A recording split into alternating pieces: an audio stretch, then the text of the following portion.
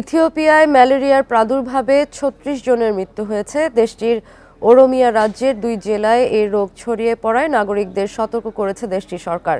গত বছরের তুলনায় এবছর আক্রান্তের হার একশো আটষট্টি শতাংশ বেশি বলে জানিয়েছেন দেশটির স্বাস্থ্য বিভাগের প্রধান।